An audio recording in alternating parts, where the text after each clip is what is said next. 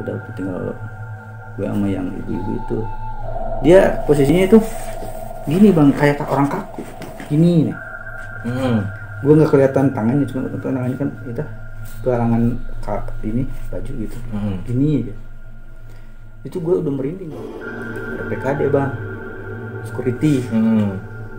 jalan dari arah eh, dari gerbong depan mau ke belakang kali ngontrol kali ya. Ngontrol penumpang ibu-ibu itu dilewatin bang dia negur gue Hmm. Hmm. Eh, pak turun di mana mungkin takutnya gue ini Bogor pak udah ke depan jalan sendirian aja kata PKD-nya Oh. di situ gue udah aduh kuduk. iya udah merinding banget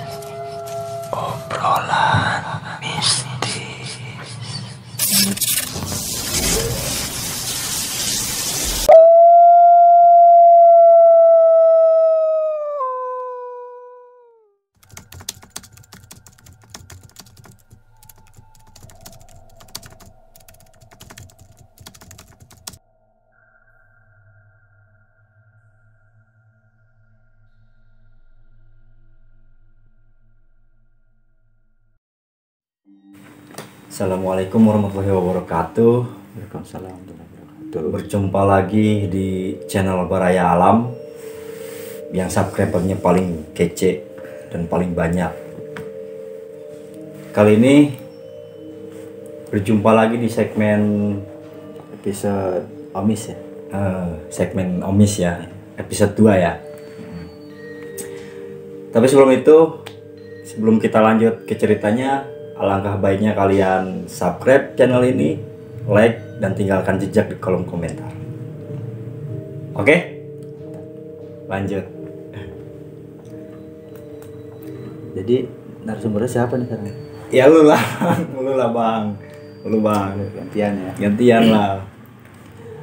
tadinya mau di Gunung Kapur dibikin ternyata di pas di sono rame banget banyak bocil jadi nggak bisa lah gitu sebenarnya jadi di rumah tadinya sih tiap segmen ini mau di gunung Iya, tempat-tempat camp ya benar, tiap segmen omis cuma karena rame yang jadi jadi di rumah kebetulan lagi musim hujan Mm-mm. dulu langsung aja bang ya Ya langsung aja, bosku. Ini pengalaman gue waktu tahun 2015 bang. Mm-mm. Waktu itu gue mau nonton Persija. Kebetulan walaupun gue tinggal di Jawa Barat, gue sukanya Persija bang. Wih, pantes oren terus ya bang ya. Mm-mm. Masalah selera sih bang, nggak ada maksud apa-apa. Iya, iya, iya, mah. benar, benar, benar. Kebetulan 28 November kemarin juga Persija ulang tahun tuh yang 92 Sekarang kita mau ngucapin juga Selamat ulang tahun buat Persija Semoga sukses dan Liga 1 cepat mulai lagi lah ya, Terusnya Ya Jadi Pagi itu gue izin bang sama istri gue nonton Persija. Mhm. kebetulan waktu, eh, waktu itu lagi ulang tahun Persija juga Tropeo Persija. Kalau nggak salah dulu tuh Arema Sriwijaya sama Persija bang. Gue izin gue bun ayah mau nonton Persija nanti siang kebetulan hari Minggu bang gue libur tuh Hmm, kerja. iya, Hmm, lagi nggak kerja. hmm, makanya gue berangkat dari rumah. Terus? kata bini gue kapan? Nanti siang kata gue kan. Oh ya udah pulang malam dong kata dia kan. Mm-mm. "Ya iya soalnya kan mainnya juga sore. Malam malah kata gue habis maghrib. Ya udah hati-hati lah. Biasa gue berangkat naik motor. Itu gue biasa naruh motor di stasiun gue berangkat biasa gue naik kereta itu jam satu apa setengah dua gitu. Pokoknya gue nyampe Jakarta sawah besar asar aja bang setengah empatan. Gue ngambil motor ke rumah bos gue kan gue pinjam juga motor di sana. Gue ke kosannya temen gue juga udah pada rame tuh bang anak-anak ngejek itu gue, situ ngopi dulu ngerokok dulu. Dulu gue zaman masih ngerokok tuh. Ngerokok dulu jam setengah enam gue berangkat ke GBK. Sampai jam sampai GBK maghrib lah itu. Gue masuk biasa. Biasa tuh bang nonton biasa lah gitu kan. Hmm. senang senang lah kita di sono. Itu waktu pas itu di jalan itu nggak ada firasat apa apa bang? nggak ada nggak ada. Itu terus pas jam berapa ya bang?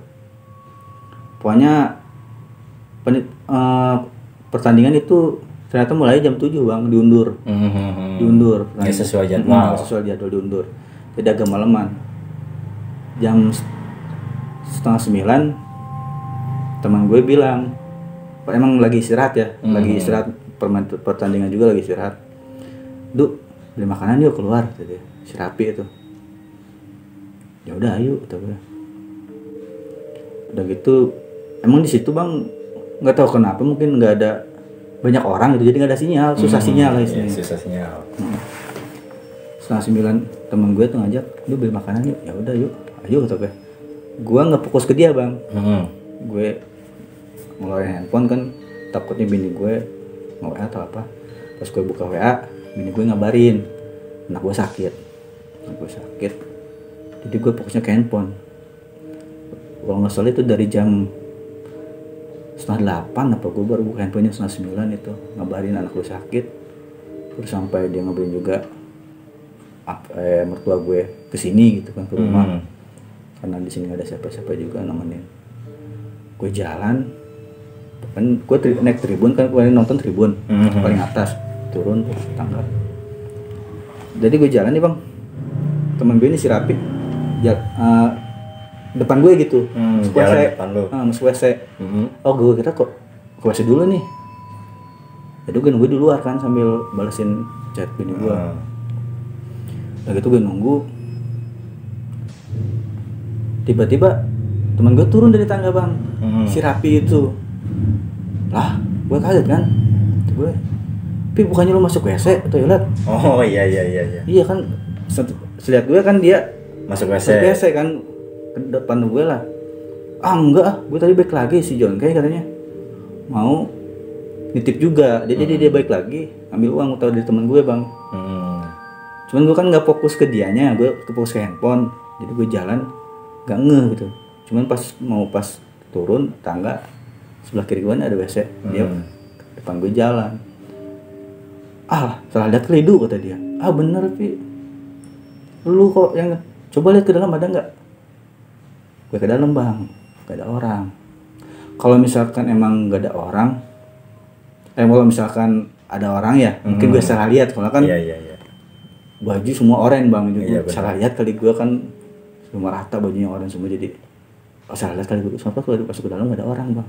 Gak mungkin gue salah lihat ya pasti dia lah atau gak ada pi.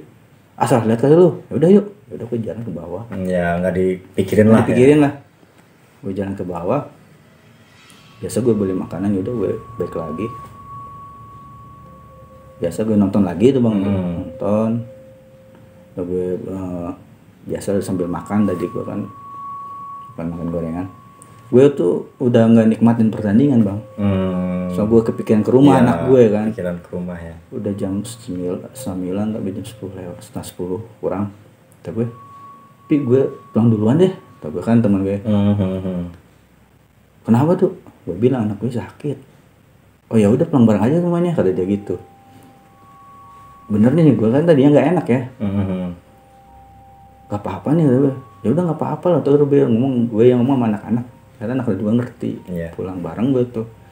Itu tadinya gue pas berangkat bang berdua gue sama temen temen gue tuh si Rapi tuh. Si Gendut. pas di bawah tuh pisah. Gue sendiri.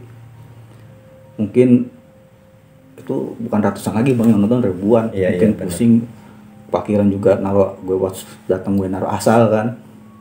Dia dia nggak bareng sama gue pas pas pulang ya udah besok gue nggak pikirnya bodo amat apa paling besoknya dia marah. Itu gue yang bikin gue keselnya ini jarak ini gue parkiran gue ini bang ini motor. Jarak paling berapa meter ke jalan raya Hmm. ke bank GBK itu jalan raya? Paling 3 meteran gue sampai satu jam keluar parkiran itu Keluar parkir. Iya saking banyak lalu lalang macet Oh. hampir satu jam gue bang gue udah ngeliat jam aduh gue pengen cepet pulang gue kesel banget sih pasnya gue bisa tuh masuk keluar parkiran tuh itu udah jam berapa jam setengah sebelasan Tiga belas malam. setengah sebelas malam Hmm, itu padahal nggak sampai selesai ya. nggak sampai selesai kalau abis selesai gue bisa pulang jam berapa gue Iya benar-benar. Juga kan soalnya ngejar kereta takutnya nggak kebagian kereta terakhir. Hmm. pulang ke Bogor kan. Udah gue ke rumah bos gue dulu kan nganterin motor. Gue juga di situ tawarin tawarin sama bos gue nginep aja nggak usah pulang udah malam kata gue besok ke sini lagi. Kerja maksudnya kan. Enggak gue kan bilang bilangnya ah bos enggak mau pulang aja soalnya anak sakit. Oh ya udah. Gue jalan aja itu situ itu jam berapa ya? jam sebelasan kalau saya gue jalan dan udah sepi bang emang di jalanan situ Taman Sari kalau malam sepi banget Hmm, hmm. gue jalan jadi pas gue nyampe stasiun jadi stasiun gini ini jalan layang bang nih Iya. ini jalur jalur ada dua ini jalur yang ke sini terus jalur yang pintu eh, itu timur sebelah sana bang gue Iya. masuk pintu barat jadi lewat sini Hmm. Gak kecil lah jalan jalan buat pinggiran rel gitu kalau dulu kan nggak seramai sekarang kalau sekarang kan banyak kantor bang. Hmm. kalau dulu mah cuman mobil-mobil truk ekspedisi gitu bang. Yang di situ kalau malam sepi udah itu gelap lagi. Gue jalan. Udah sepi tuh nggak ada siapa-siapa. Gue jalan. Kok gue denger kayak ada yang jalan di belakang gue bang. Oh ada yang ngikutin. kayak ada yang ngikutin. Sak sak sak sak gitu jalan. Tapi kayak diseret jalannya bang. Diseret sesekali kan pinggirannya itu ada besi pagar besi gitu Hmm. kayak tek tek tek tek tek gitu kan kayak yang Yang kayak yang di tek ya, gitu ya gitu-gitu tek ya. tek iya gitu Semacam pakai tongkat. gua kepikirannya takutnya orang jahat Hmm. soalnya kan sepi di situ udah gitu kan pernah ada cerita lah kayak gitu-gitu di jalan situ sepi takutnya todong apa gitu kan Hmm. gue nengok nggak ada bang ah gue sekali gue nggak bener nih kata gue Iya. udah gue, gue udah kepikiran ke situ. Gue jalan terus. Cuman cuman gue jalan cepet bang. Hmm. hmm. gue gak berani nengok gak berani nengok maksud gue bang. Gue jalan cepet terus. Itu suara masih ada ngikutin. Sek sek sek cuma gue ber, gak berani nengok. Terus gue jalan. Pas mau udah mau deket gerbang stasiunnya itu kan agak terang tuh lampu. Hmm. baru gue berani nengok. Gak ada siapa-siapa bang melompong aja gitu. Gelap nggak ada orang nggak ada apa gitu. Itu waktu itu nggak ada barengan lu gitu yang nggak ada sama sekali nggak ada. Ja- kalau jalur gue nggak ada ya. Mungkin jalur situ mah kan emang kalau jalur sono pintu timur itu emang jalan raya. Oh iya rame ya. ada aja mungkin lalu lalang motor mobil jam segitu juga. Karena gue jalur ke pinggir jalur barat. Kalau siangnya cuma ekspedisi bang itu mobil mobil truk doang jadi sepi nggak ada orang. Itu gue biasa kalau dari mana-mana ke stasiun kerja atau gue pasti ke WC bang. Iya iya. kalau ke stasiun itu itu gue enggak. Gue kepikiran yang Waktu di jalan. di, GB, di GBK Oh, di GBK. di GBK biasanya gue gue saya cuci tangan kayak buang air kan. Itu gue enggak langsung gue langsung beli tiket beli pulsa gitu kan saldo. Gue masuk. Nah biasa kalau orang Bogor itu bang eh, naik kereta itu paling depan bang. Soalnya kan jalur keluarnya itu kan Iya pas jalannya ya. jalur selatan lah, terus ke paling ujung lah. Hmm. itu karena gue nggak mau nggak mau naik tangga jadi eskalatornya itu arahnya ke gerbong belakang. Hmm, gue pengen naik eskalator karena gue males ya dan nggak. Gue naik eskalator jadi gue naik ger- naik kereta gerbong belakang. Pas ya udah gitu udah jam berapa jam hampir setengah dua belas tuh bang kalau nggak salah kereta terakhir ya cuman gue lupa tuh.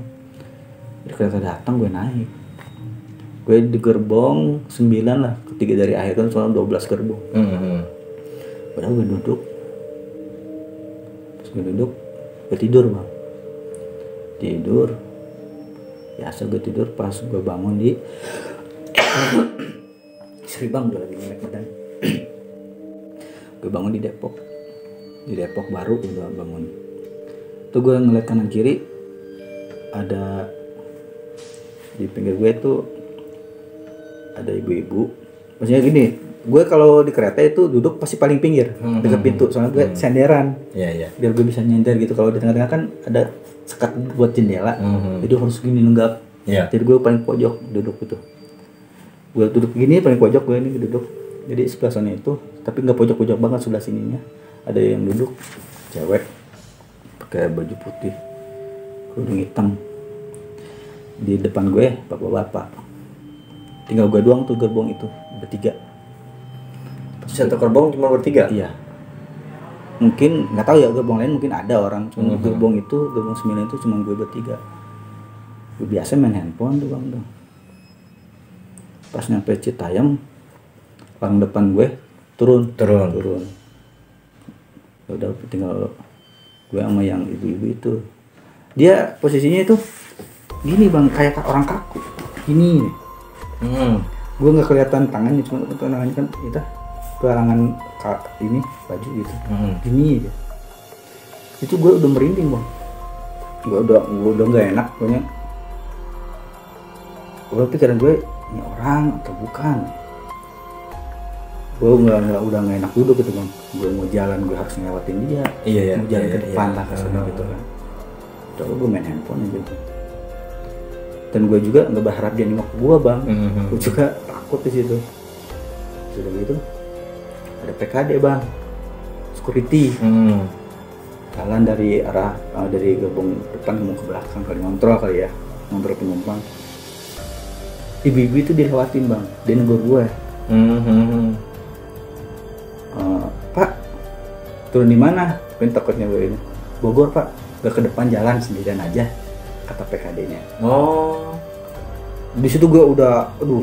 Kuduk. iya udah merinding banget. Merinding lagi gue cuman gue nggak ngomong. Mhm. Eh ini nggak ngomong. Sendiri aja pak. Nggak jalan ke depan. Oh iya pak. Bentar lagi pak. Ntar deh kalau sampai celebut kita ke depan oh ya udah dia jalan.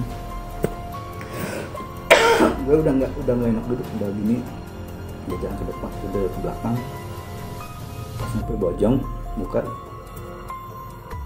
Gue ngeliat kaca bang. Kaca depan. Hmm, kaca depan. kaca depan. Kan kalau kalau ini ada pantulan itu nggak ada bayangannya bang.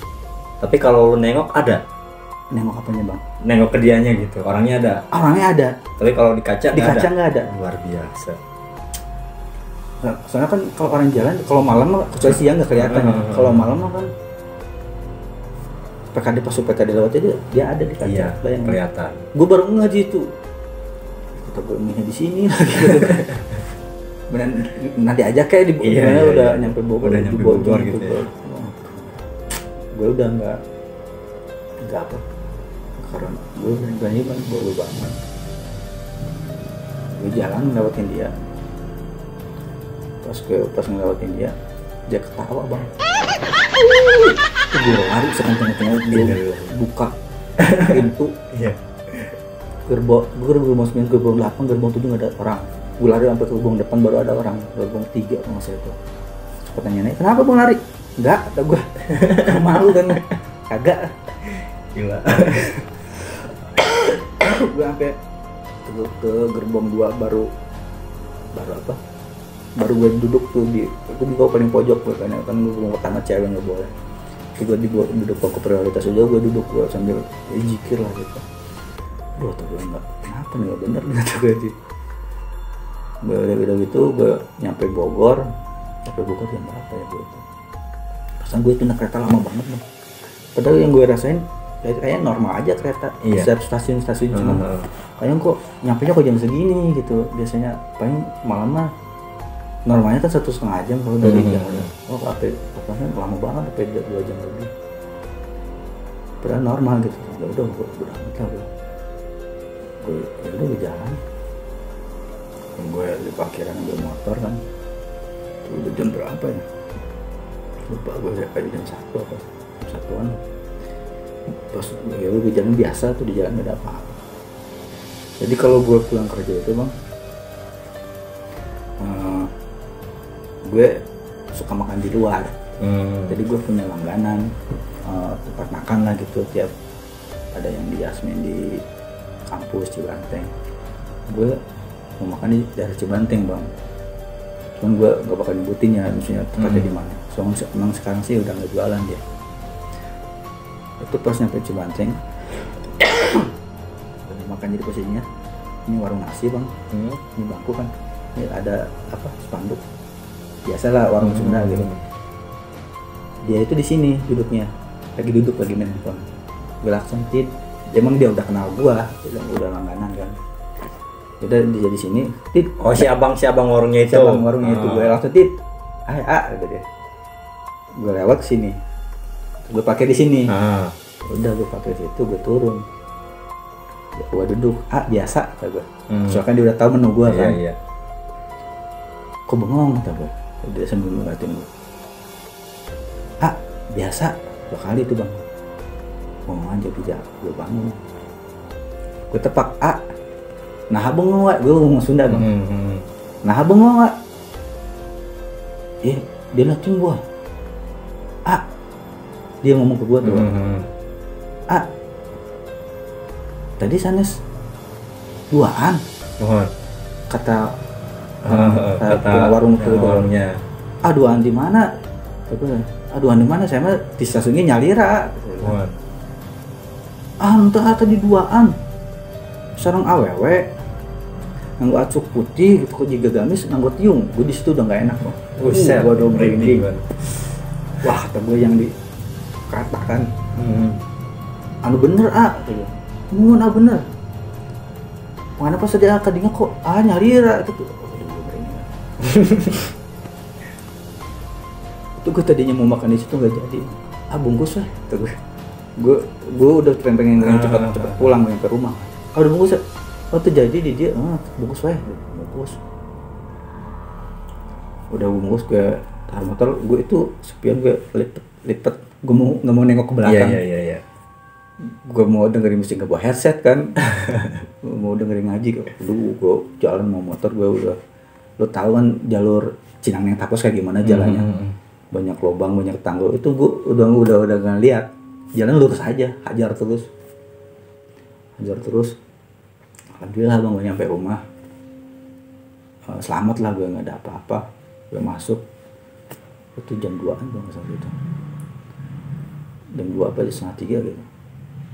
Bini gue juga udah pada tidur, gue kan punya kunci di luar. Jadi gue Hmm. masuk kan nyusul motor.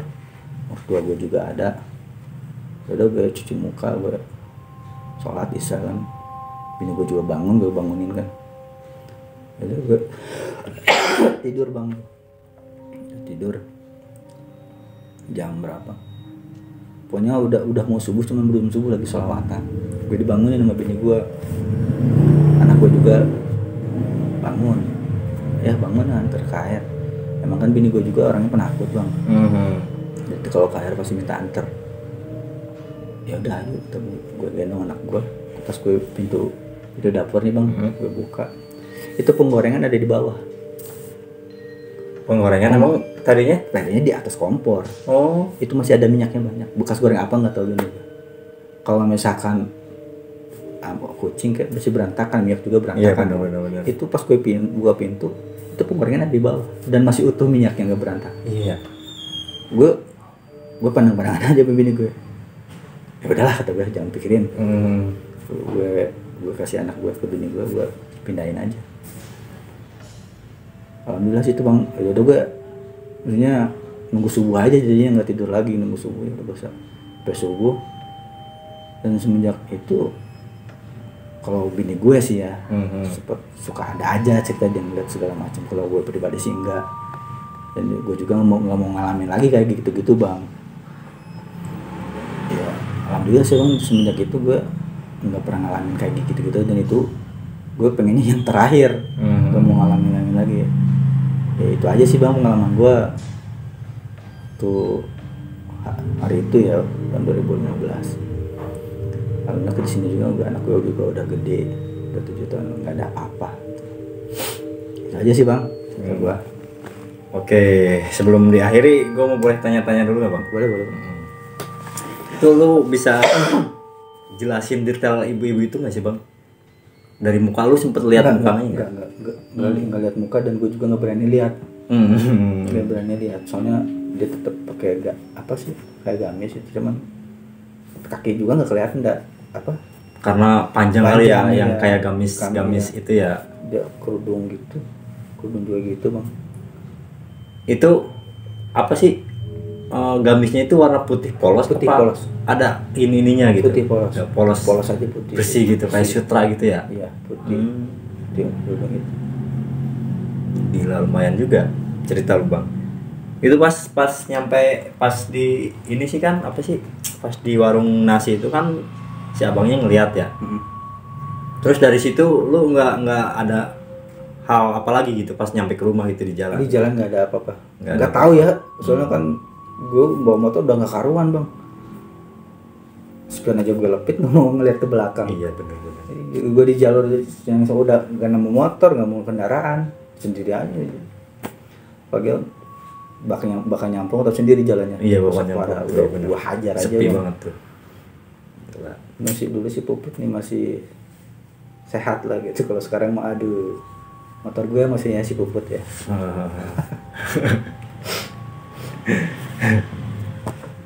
Pengalaman luar biasa juga bang. ya itu gue juga udah izin kemarin ke si Rafi itu gue mau Hmm, cerita hmm. mau angkat tuh Bu. ya udah angkat aja tuh nggak apa-apa kata dia Berarti ini tuh ngikutin lu dari GBK apa emang dari stasiun sih bang? ya itu gue nggak tahu tuh bang emang tapi kejadian itu masih di apa di stasiun di GBK gue udah ngalamin itu Hmm. Gue salah nggak salah lihat atau apa gitu udah kerja ada kejadian aneh lah ya mungkin dia dari situ atau gimana gue nggak tahu cuman emang dia wujudnya gue kelihatan itu dari kereta Hmm. pas gue ngeliat lah gue nya Iya, berarti yang cewek ini mah yang ngikutin pas dari lorong itu kali ya bang? mungkin bisa jadi bang Oh. bisa jadi gue tapi gue nggak tahu Hmm, terus pertanyaan satu lagi nih bang. Lu dari sana naik kereta jam 11 jam sebelas jam sebelasan atau jam 11an. jam apa gue lupa pokoknya kereta terakhir atau ya Hmm. jam 11 apa jam berapa gitu cuman gue berasa lama banget naik kereta itu Dari stasiun mana sih bang? sawah besar ya Oh sawah besar. Bi- Biasanya kan karena nomornya kan dari apa sih dari kota aja ke Bogor biasanya satu jam setengah. satu jam setengah itu mah gue sampai dua jam lebih soalnya gue dulu nggak nggak nggak ngeliat jam atau gimana gitu pokoknya gue berasa lama aja gitu kereta tapi kereta gue rasa normal jalannya biasa jam jalan biasa ya. Cuman ya, kalau pas lihat jam dia tuh oh lama banget tuh gue lebih dari biasanya ya. Hmm, lebih dari biasanya Mungkin gak bang kereta setan bang? ya nggak tahu Bang. soalnya kan penumpang lain juga ada sih di depannya Iya ya, tapi ya. ada cuma mungkin keretanya mungkin biasa aja emang, emang setannya aja ada di situ terus ngomongin bawaan gue nya jadi takut jadi merasa lama atau gimana kan? Nggak tahu juga. Oh, itu aja sih bang. Gua pertanyaan gua bang. Ya mungkin itu aja sih seluruh pengalaman gue ya itu mau pengalaman pribadi. Dan gue juga nggak mau lagi ngalamin kayak gitu-gitu. Mungkin nanti di next episode ya kita bakal berbagi cerita lagi mungkin narasumbernya juga nanti bisa jadi Kang Abai lagi atau mungkin dari teman gue yang lain yang punya cerita-cerita mistis kayak gini. Mungkin itu aja bang ya. Ya Eh, itu aja dari kita. Assalamualaikum warahmatullahi wabarakatuh. Waalaikumsalam warahmatullahi